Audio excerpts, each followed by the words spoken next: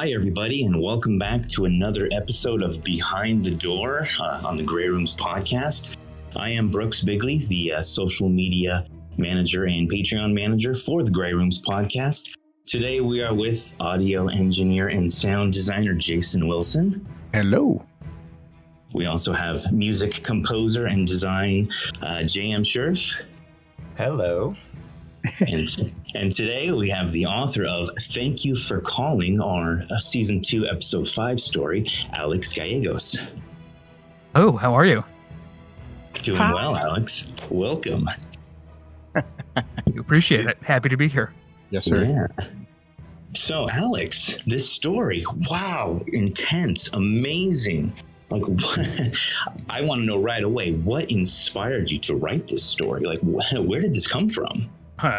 Um, what initially inspired it? Um, hmm, rage. Uh, um, I can. um, right. So uh, I probably had this knocking around uh, in my head since um, like 2009, 2010, really, um, and just didn't really have a, a place for it. Um, you know, uh, I just came up with the initial idea of, uh, you know, it'd be really great if somebody could just just stick it to these guys uh, Yes, because yes. uh, uh, all of these uh, scams were were starting to come up around that time. Um, the Nigerian prince scam had, had kind of fallen out of favor, and so had the uh, lottery you hadn't entered scam. Um, Mhm. And I'm in IT by trade, so I kind of do this all the time. I had just graduated college, um, so this was just starting to come up as a thing, and it was like, oh, this this really sucks, and it was really widespread. Um, and uh, law enforcement um, still to this day really can't do anything about it um, Right. because it's people that are way beyond anybody's jurisdiction you know even if you can even if you could report it to somebody you know what's your local police department gonna do? You know they're not gonna fly over to india and uh, and and take care of that. Um Yeah. so that was kind of the initial um seed for the story when i was a little bit edgier in my 20s um just yeah that yeah i just wish somebody would do something about it. Um I feel but-. Right i think everybody does um and certainly anybody that's uh fallen for one of these scams um and, and Yeah. heart kind of goes out to them um but then the other piece because initially i'll say the uh the man on the phone um who uh graham did an amazing job Oh, absolutely. um yes and Round of applause. Graham was really fun to listen love Graham. do that. Uh, the yeah, Graham was really fun to do. hmm did great. Um, initially, the idea way back when I conceived of the story was, you know, that's the absolute hero of the piece. No questions asked. Just yep, he he's great, and uh, it's it's fine. And then, uh, as I've mellowed out a little bit with the passage of time, and also as I um, did a little bit of of looking into some of the reasons people get into that um there are absolutely people that are just out to steal your money um and pretty much don't care about it. Um but i also actually found out that there are a ton of people that are pretty much getting scammed uh just as much as the people that are getting called which really surprised me and it was like oh that really sucks um, Yeah. and so to discover that that was the case and i've also kind of been thinking a little bit about some of the um, the online mobs that have just gone after people uh, lately. So I tried to work a Mhm. little of that in too, um, and hopefully by the by the time you're done, you come away thinking, you know, obviously you you shouldn't have been doing that, but gosh, I'm not sure if you deserved um, that level of uh, of punishment and torture there.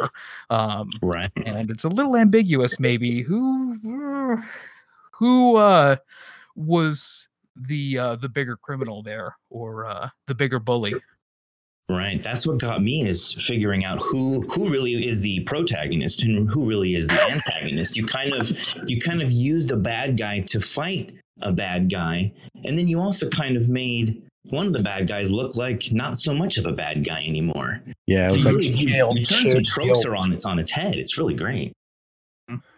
Well, as as bad as the telemarketers are, they're not uh, slaughtering people. So Exactly. yeah. Yeah. yeah, yeah, yeah. Imploding their heads. right Way to which go, is just so awesome. yeah.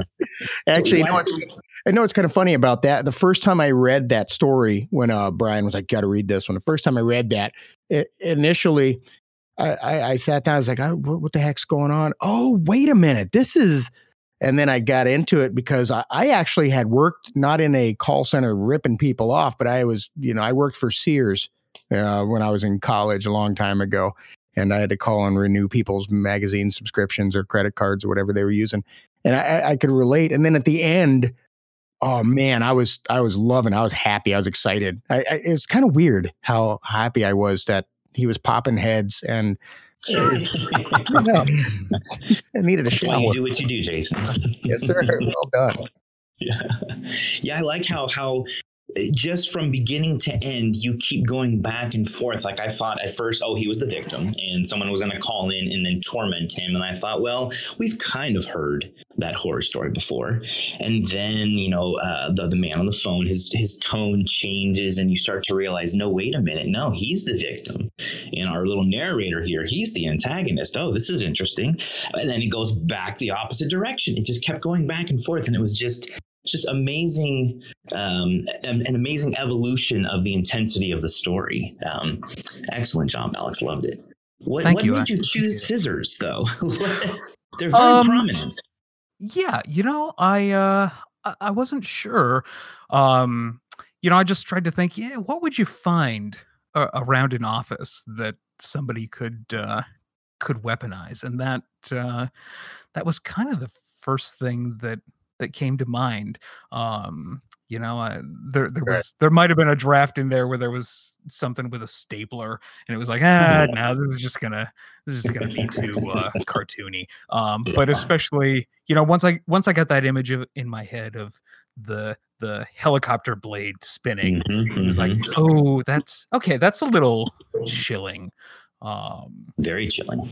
Yeah Well, it was it was was neat. I like to tell it was that telekinesis. Is that what that is? Uh, the tele, te, is that telekinesis? Yes. yes Okay, Yep. yeah. Gosh, I can't remember. I, that's what I was loving about when I was reading it. I said, okay, this is cool. That's extra scary. This guy's this guy's long distancing his telekinesis to this dude. That's awesome.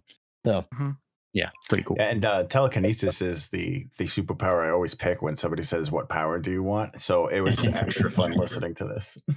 Really, my, mine's always been channeling the channeling energy and lightning. I've always wanted to ha- to have uh, the the control over electricity, essentially, like Raiden. oh like yeah like like controlling weather kind of basically. Yeah that would be awesome. Yeah, okay. Also a solid choice. I would be able to stop time i think. That could get boring though really quick because you'd probably stop time a lot to keep fixing little things here and there. I feel like I don't know. Oh, that Oh, would be, yeah, there'd be a I'm slippery sure. slope there. I feel like. I don't know. That'd be pretty cool. Thank Really? You just pause time and walk to work. You don't have to. You'll, you'll never be late. Never be late anywhere. never Maybe be I'm late thinking about how to use exercise these as in, superpower. right Did you Yeah. ever leave? Um, so can can I ask one thing uh, that that you don't have to reveal because authors never have to reveal, but um, is there can you share with us how the antagonist maybe was able to see what was going on? You know, uh, he, he was very good at.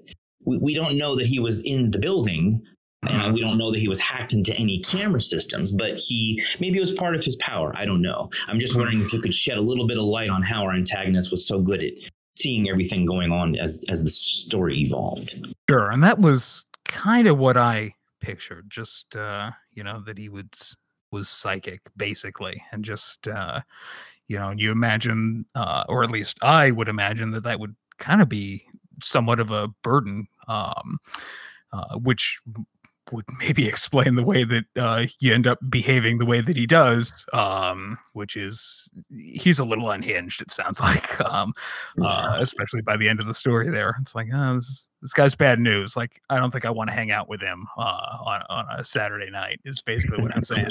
Um, but that was at least what I uh, figured. Um, but uh, but I you know, now that you say that, um, it's certainly possible that uh, that he did something else. You know, hacked into the uh, security system there or something. Um, he does Yeah. have a background in IT, so that would that'd be great too. I didn't think about that. Right. I would love for there uh, to be an alternate explanation that I didn't even think of. Um, that's great. I love it. Well, the ambiguity still serves the story perfectly because it adds to that kind of on the edge of your seat, nail biting. Like our, our narrator doesn't know if the, the scissors are the only thing that's going to fly around the room and someone's head just exploded and he can't see, he cannot identify the threat anywhere. There's no visible threat causing these issues. So that really ratchets up the horror. So I wasn't looking for you to plug that or like, you know, it would have been better if you just told me where he was. I just was Ah. wondering if in your your author's mind if you had that pl- place uh, set or not because i think Mhm. ambiguity ambiguity is great here it's it's perfect served it very well um alex is this the first time you've ever had a story produced or have you worked with other podcasts i'm not exactly familiar um, with any of your stories being you know produced before This, yeah, this is the first time I've uh, really had anything uh, produced. Um, I've uh, I've acted in a couple of things, um, which I'll, I'll talk about at the end during the uh, "What are your upcoming projects?" section. Mhm. Um, uh, but yeah, this is the really the first time I've submitted every, anything. I've I've written a couple of things on some writing prompts on Reddit here and there, and a couple of them, you know, got a few hundred hits, that sort of thing. Um, yeah I think I published some stuff on on the odd website here and there uh, from time to time. Um, but when, like I said, I just had this knocking around without really a, a place to go. Um, and that was part of the reason I never really put pen to paper with it because it was like, eh, you know, it, it's kind of just this this short story that uh, there's not a whole lot to it. It doesn't really fit in to a, a more grand narrative anywhere, and ultimately, eh, where where's the audience for it? And then the open submissions uh, came up on the grey rooms, and it was like, well, hold on, it might be there. Um, so it was it was kind of perfect. Um, and I still, it feels uh, a little bit kind of like a miracle that this thing ever got done. Um, like, What do you mean? What do you mean? well, um, I'm just for well, for starters, um, the the deadline for submission initially was like Friday, March first, Mhm. and then you guys extended it on Twitter. You were like, "Eh, actually, take through Sunday, March third, which for a well-adjusted human being who is not the living embodiment of that poster that says if it weren't for the last minute nothing would get done around here um you know that that would mean hey you know like make some final edits and and make sure it's it's all polished up and great and for me meant cool I can watch YouTube videos on Saturday um, because that's the sort of person I am, and uh, and that's how I sent an email uh, on like Monday, March fourth at twelve twenty one a.m. that started. Hey, it's still Sunday in two more time zones, and had the story attached. So already I was like, okay, eh, maybe they're not even gonna uh, accept it. And then, like two days later, um, you know, not to talk too much about anything else, but White Light Heaven came out, which was like the most moving story I've ever heard. I listened to the podcast commuting to work, and I like I was like crying on my way to the office um, Nice. like actual tears and i was like Job great done. and these are the people that i just sent my head explosion murdery call center story too. i'm like okay well that was a fun dream while it lasted hopefully not a lot of people will have read it so Uh, Well- we don't, we don't discriminate here at the Grey Rooms. Nah, man, it was beautiful. And, and Alex, if, if I may say, uh, you should you should uh, know that your story has generated two thousand eight hundred and seventy three downloads. So Ooh, two thousand eight hundred and seventy three people have enjoyed your story. mhm. wow. thus far. So good Oh. job, man. Good job. That's just to date. That's just to date. Yeah, that's just to right now. So uh, yeah, it released on the twenty fourth, and it's the twenty eighth. So in four days, which is uh, Wow. well done, man. Very good job. Yeah, It's absolutely.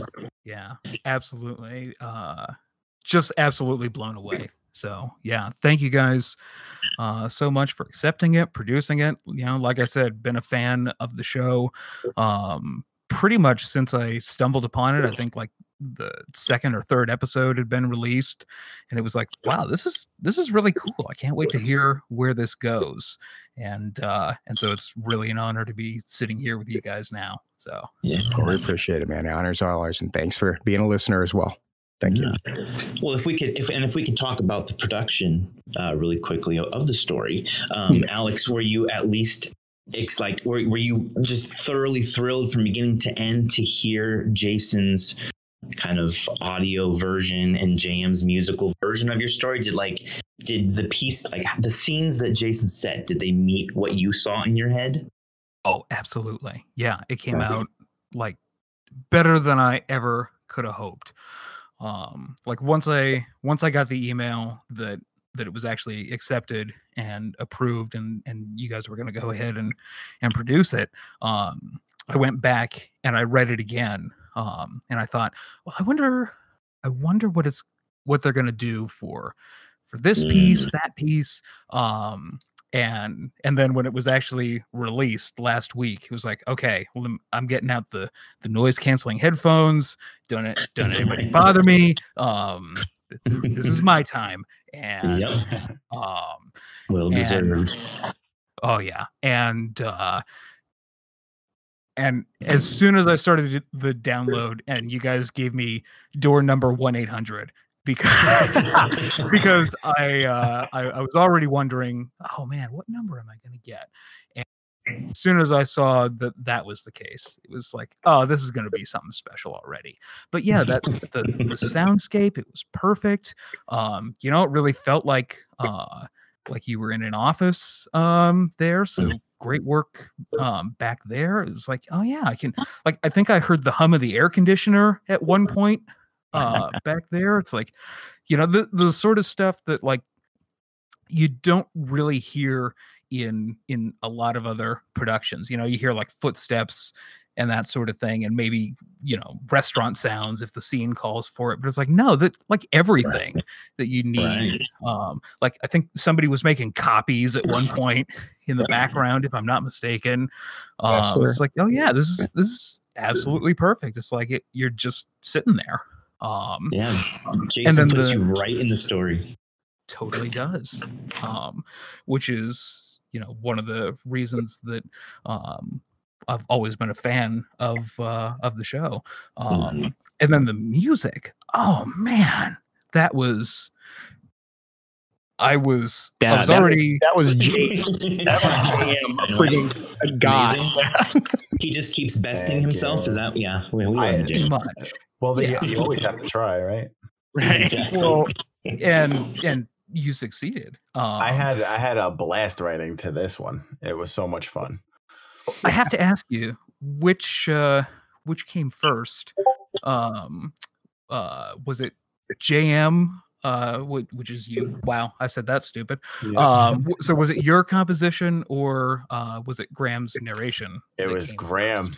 It was Graham. I uh, so I get the story. It's usually uh, you know it's like ninety nine percent complete. So uh, when I get the when that when I get the file and then I I write to that, and I was listening to the I always listen to, to a couple a couple times before I start writing, and in the middle of it, it gets real quiet and Graham starts going da da dum da da.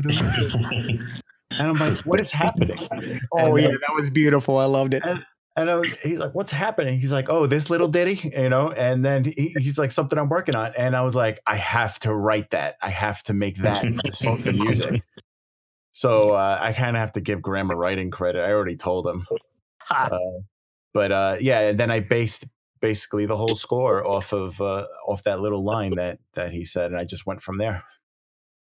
I uh I never would have even imagined in my wildest dreams when I wrote that that that was going to be that that was going to happen but that just that little moment was like oh chills up my spine i loved it um it- i mean if i could borrow from pulp fiction when i wrote that down you know i just thought it was some a cold-blooded thing to say and so i was like oh okay great i'll just throw that in there um and i had no idea you were going to do that um but it was perfect loved it Uh, thanks, Graham man. gets some credit there too. Graham is uh, quite the improv impro- improvisational actor. Yeah, he comes up with scenes really well, and uh, yeah, of course, JM absolutely knows how to ice the cake. Something ferocious, always But does. It was funny though because Mhm. I, I feel like uh, uh, Graham's the man on the phone, the the character was uh, even even though he was angry, I felt like it was kind of like whimsical. Like he was like um, he was like the director, like the uh, in the in the uh, in the ring in the circus. Like he was directing the circus, and the Oh, whole yeah, yeah. crazy. And that's you know, and then with the way he was, uh, you know, he went into that little song.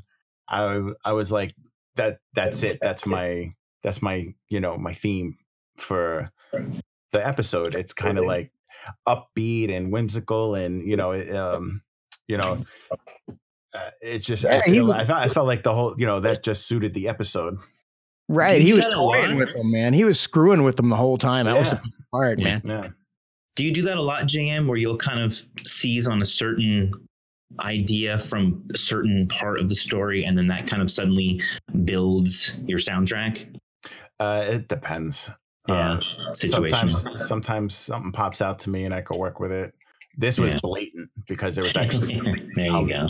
uh, but you know, yeah, other other times um, I listen to a whole episode and they're just kind of like during the episode I can oh I hear a violin here or I hear a drum here, and then uh, it just kind of builds up from there. Okay, well, I, I was going to ask you like what inspired you to compose, but I feel like you've kind of gotten into that now and explained that. Yeah, this was this was a this was definitely a good track. My favorite has always been um, episode two, but then and then a, another episode comes out, and then I hear more of your music. I'm like, oh my god, I can't. I keep I can't say what's my favorite yet, JM, because I know there's a whole bunch more episodes to come out. So I awesome. appreciate that. Thank you. I, Yeah. I- I'm also I try to I'm trying not to make everything sound the same either, like the same style. I try to change the style every episode. I think you've done an amazing job at that. Absolutely, yeah, Thank yes, you. sir. yeah. Thanks. I appreciate Hey, that. hey, um, Jason, um, what did you do? There was a lot of cool. So to go back to that telekinetic thing, there was a lot of cool sound effects involving the scissors, um, uh, different, different. Like to me, my ear kept thinking like metallic sounds, like metal things being manipulated. Like what, what kind of things did you use to set those sound effects? Well, it, it's kind of funny. This was actually, uh, to be honest, um, sorry, I had to move my mic there. To be honest, uh, the scissors were was a was an exceptional challenge. It was actually really hard um, because the the sound effect database I have, you know, doesn't have spinning scissors, and and and I could take i a can't think why right, and and you know, I could take a uh, I could probably take a uh, a blade off of a helicopter and just a just adjust the uh, pitch on it, but oh no, I can't because what's attached to a blade of a helicopter? It's a helicopter with an engine, right. and- Lots of other and, sounds. and you have all this background noise, so it was really hard. So honestly, my my kid, and and this is the, the true fact, my son was playing with a a, a, a fidget spinner Oh, and. And uh, he set it down on the, the countertop. and and I heard it, and I was like, okay, I can add a couple effects to that and adjust a pitch, and I'm going to record that, and that's going to be the sound. And so, the actual sound of the uh, scissors, the best I could do on that was the, a fidget spinner on a uh, a, a countertop in the kitchen, and um, I mean, I thought it turned out pretty good. Uh, I, I, mean, if Alex is happy with it, that's what matters. And uh, yeah. you know, I mean, and uh, other than that, um, you know, obviously, just a slice is a slice, and a and a claw is a claw, and you know, so mm-hmm, that's mm-hmm. pretty much it. That was the hardest part of this episode for me, though, was the, uh, the actual scissors. That was the hardest part. I uh, I play a game you know just a little mental game when i'm playing or when i'm listening uh, to the grey rooms called what's that sound um just uh so my guess was uh um like a quarter being spun yeah um, that was me too pitched down um but that that makes so much sense got it I was I was wondering what you were going to use. Um, yeah, man, you challenged me. That was pretty tough. It really was, dude. Good job. Thank you. Nice. Right. it was hard. I, I actually, to be perfectly honest, a scissor a sound effect just by itself, uh, figuring out what I was going to do, took me almost a day by itself. Just sitting here trying to figure out what I was going to do just with the scissors, and that that honestly has never happened in any of the other stories I've done. So, hey, man, kudos. yeah, absolutely. Yeah, very excited with where this season is going. We've got so many I think like different, I want to say different thinking authors. We're not getting authors submitting the same old tropes of horror stories. And I even used the word trope earlier with you, Alex, but you are so brilliant at turning the trope over on its head and then turning it sideways and then turning it again. You just kept, I, I never knew which direction you're going in. It just made the story so much more satisfactory because of that. Um, so I'm really proud to add you to our collection of authors here. Um, yeah, you really, you really helped us bring yeah, our season two so much bigger and better. So thank yeah. you so much, Alex. I appreciate it. Yeah. yeah. I'm a sucker for less like uh, I mean I do like monster stuff, but man, you really wanna you really want to do a story, make it something that could be real. Uh, mm-hmm. I mean, real mm-hmm. life like life is horrible. And to sit here and think, uh, one, the job sucks. The guy has to do this job, and then you find out like he's kind of like Alex said, he's kind of a slave. You know, right. he's he's kind of being victimized as well. And then you know, to have the victim initially, you know, Graham's character come out and then he's just swinging the big sword, and you're just like, man, you you you you, you got Alex nailed it so good when he was describing it. You're kind of really chewing your fingernails trying to figure out who's the bad guy here, and you're yeah. rooting for this guy at this time, and yeah. then you're like, oh, screw you, and then you're rooting for him. It's like, yeah. oh no, screw you. And you go back again yeah. it was it was it was fun. It was a roller coaster. It was really cool. I I I uh, I uh, um I compare it to the uh, the pirate ship ride at the roll at the theme parks. There you go. You're you're you're on you're in the middle, and at one point in time you're like, I like you, and then you swing over here. I like you. and so you go all the way around and then come back. Your brain's just all scattered. And scissors. so so Alex, do you um do you have any exciting stuff coming out that you want to tell us about before? Um, well, I'm uh, I'm working on a, a submission uh, for uh, for season three, uh, which I will hopefully get out uh, when it is midnight. Um, you know, in, in many more time zones because I think there's there's a couple of months still to go. there you go. Yes, yes. Um, uh, so you know, maybe I maybe I can swing it like you know a whole 48 hours uh, in advance. Um, but no promises. So, so, I'll give that a shot. Um, other than that, the ambitious um, fellow he is. exactly. Uh, other than that, for the most part, I usually spend most of my time on the other side of the uh, microphone. Um, uh, I'm actually an actor uh, in a podcast uh, called Superstition. Um, oh. you can find us at uh, Pod Superstition on Twitter. Um, uh, Graham has been in a couple episodes of that, um, although I mean, if, no. if, we, if, we, start listing all the things he's been in, we could be here all night. Oh, um, see, he knows. Alex knows. exactly. Make a list of what he's not in. That is shorter. Right, That's- exactly. Yeah, that's the, that's the better way to go. Um, but uh, yeah, we are we're uh, currently in uh, season two uh, right now, um, and uh, it's written by the uh, amazing and wonderful uh, Sarah Kolb, um, and stars uh, Kira Apple, and uh, I've just been honored to be a part of that. Um, so that's my biggest project. And what was the name of that again? Just I, I have my pod catcher open. A superstition. Superstition. Okay. Um, after the show, Alex, I will make sure to get all of that relevant info and um, we'll include it in the show notes uh, so fans of your story here and listening to this can go and easily find you in other places in the in the pod sphere. Excellent. Thank you. Yeah, of course. Superstition podcast. It's us. All right, I'm I'm following you now. There you go. Oop, Just got another sub. Ding ding ding. Woohoo. Hit that bell. Oh man, it's it's always what I love to do. I love listening to uh, audio dramas and podcasts and audiobooks when I'm at work, and uh, I love new material. And Graham's in it. Come on. Exactly. Yeah. Yeah. Well, it's Guaranteed just to be awesome. yeah, it's been amazing to me how um how tight knit the whole community really is. Um, you know, and I I fell in love with the with the audio drama podcast community um because I really loved the old time radio stuff. I used to buy these uh, cassette tapes at Yes. Barnes and Noble um, because they'd release some of the old shows. Um, Mhm. and Right you there with you. Yes. yeah and and it looked like that art form was just going to be lost to time for so long because you know just i mean nobody was obviously going to go back and produce that kind of thing. And then podcasting came around and all of a sudden it's like everything old is new again and, a and here comes this art form that used to be the only way to tell a story before tv and now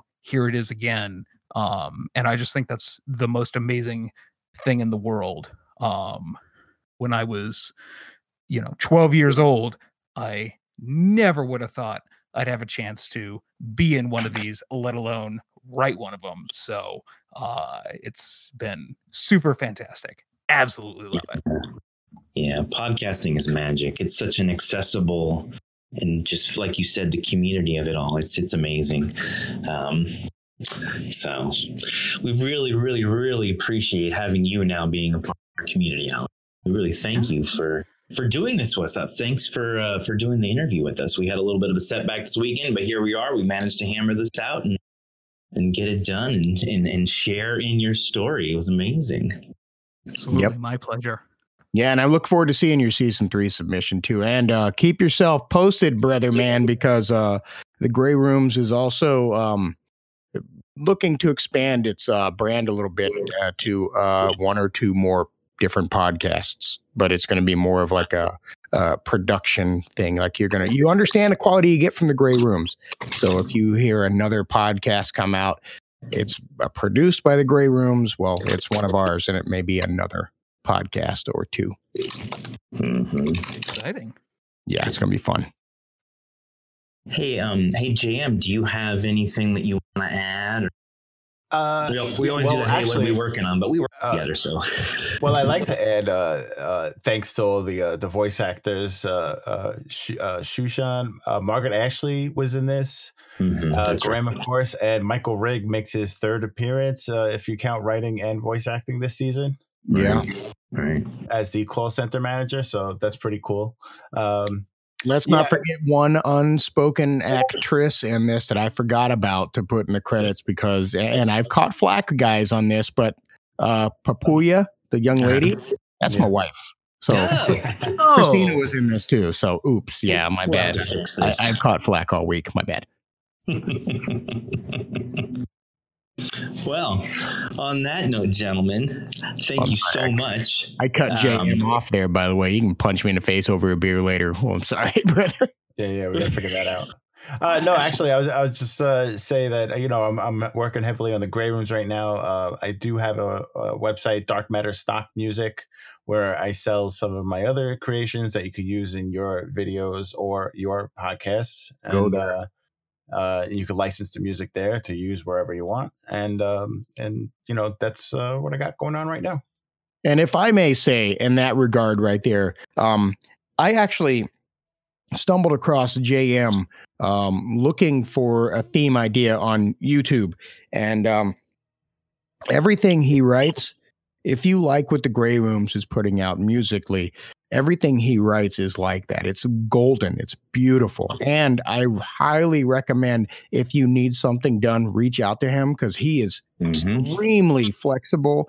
And man, I have had so much fun working with JM musically, and, and, like he's he's such a great artist and a good friend. And I'm telling you right now, I will totally vouch. I always I. I I'm pretty sure you're probably sick of hearing it JM, but every behind the door I sit here and I'm like, we gotta talk about JM, you know, because Yeah, I I freaking hear it, love JM music. So seriously, if you're a podcaster, anything like that out there, you're listening to this and you want some audio, freaking reach out. JM, he he will kill it. He will kill it. And his turnaround is ridiculous too. So yeah. Absolutely. Thank you.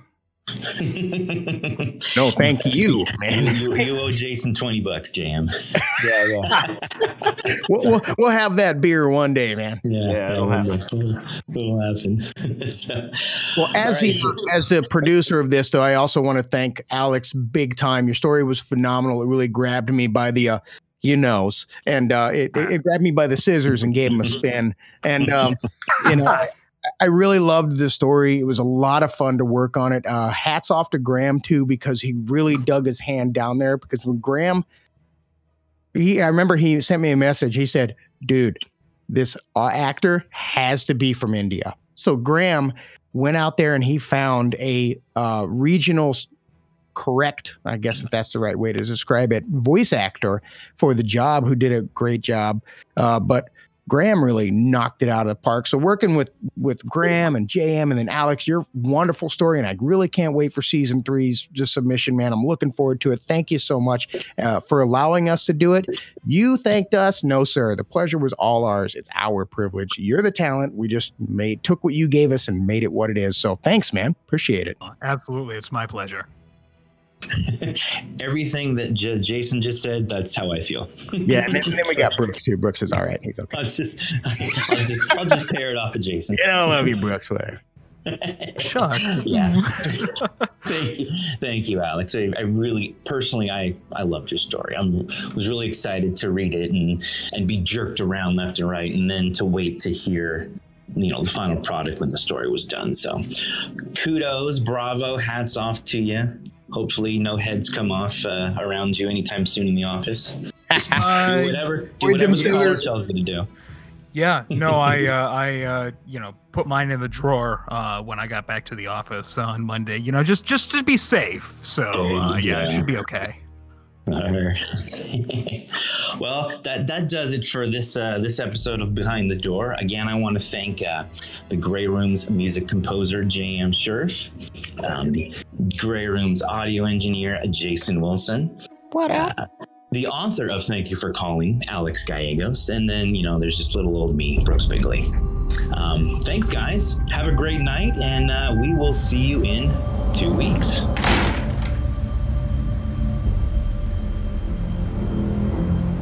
Each week after every episode for another edition of Behind the Door.